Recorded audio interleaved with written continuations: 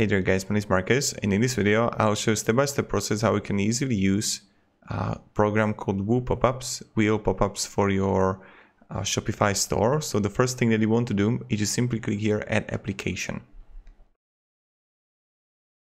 Now when you're gonna do it, you need to install app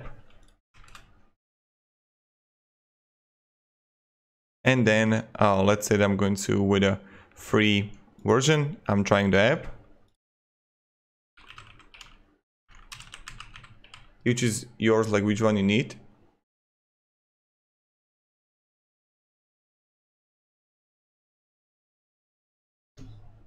And it's loading. And right now here we go. So first thing first select a game type. Spin to wheel. Wheel of coupons or reveal your coupon. So you just like choose which one you want. Like let's say select a game this one and when you got it, what you need to do is to actually edit it. So first you see designs here. So you can simply change the colors. And now you can change the designs also, like I like this one. But what you can do is to change the custom design too of your wheel. That's completely up to you. You can change the font and you can have animation here. What you can do always is just like simply click on the right top preview and you see that let's see what you've won. Buy one and get one free. And then they would get a code. So this is how it works. Now what you need to do is to simply under design press text, play screen, win screen, bar.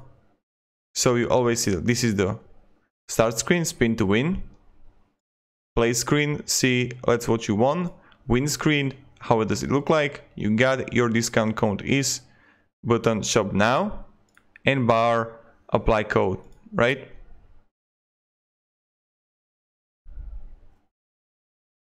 And now you're gonna have like coupon code here. So you can create you need uh, like unique coupons if you want to.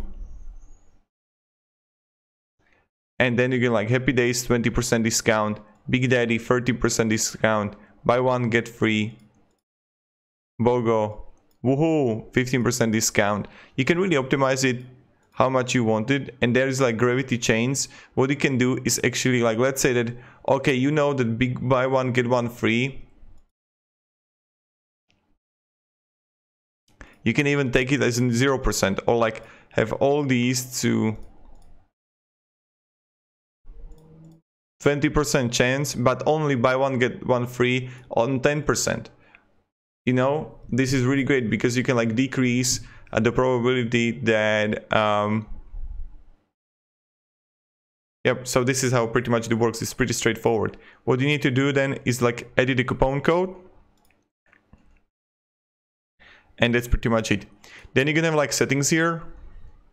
Like when it's going to display. So you can have it on entering the site or under the following conditions.